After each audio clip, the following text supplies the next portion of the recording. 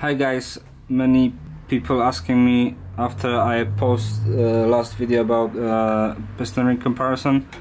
Can is it true that I can uh, put uh, M52 TUs uh, rings uh, on the M54 piston?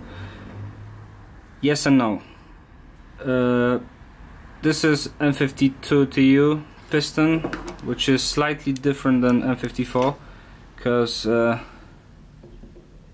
this bit here is thicker than uh, M54 so I did a test and I found that only different only difference between the rings is the top groove for the first compression uh, ring.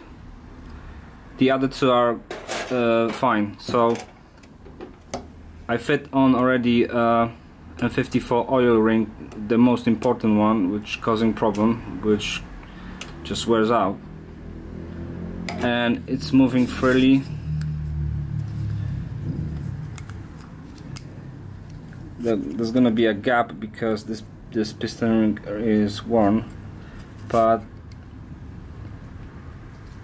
won't do any flutter. Just moving freely around. So guys yes you can put oil rings from uh, M52 TU on the M54 piston and same as the second uh, compression ring. But there's a difference only difference is the top ring. I will show you the difference. I got this one's gonna be M54 compression this one's gonna be M52 TU compression ring. So the difference is quite big. That's the M54 and that's the M52 TU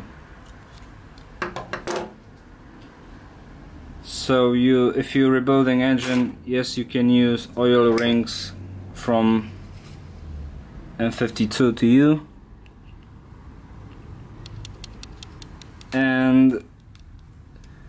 others you can just uh, use stock or aftermarkets. I recommend aftermarkets.